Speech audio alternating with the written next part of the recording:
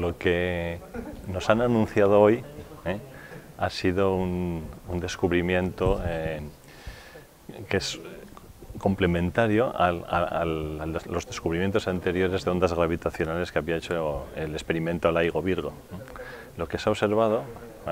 nos, han, dicho hoy que se ha observado por primera vez, es a la vez ¿eh? ondas gravitacionales, pero procedentes no de de la colisión de dos agujeros negros, sino de la colisión de dos estrellas de neutrones, que son otros entes astrofísicos mm, muy masivos eh, y que en este caso no están a,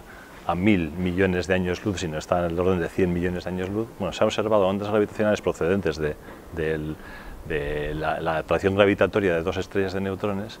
y estas dos estrellas de neutrones también emiten radiación electromagnética. Y entonces otro experimento, que es un experimento de la NASA, que se llama Fermi Gamma Ray Observatory, eh, que es un satélite que lo que hace es detectar ondas electromagnéticas de muy altas energías, lo que se llaman rayos gamma, pues a la misma vez, de hecho 1,7 segundos de diferencia, que no es nada eh, a esas distancias, ha observado eh, radiación gamma procedente también de, la, de la misma dirección, con lo cual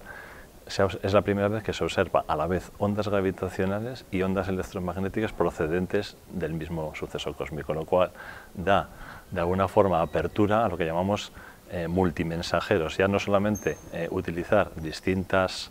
frecuencias de radiación electromagnética, como ocurría hasta ahora con los, eh, experimentos en astrofísica, sino además también ondas gravitacionales.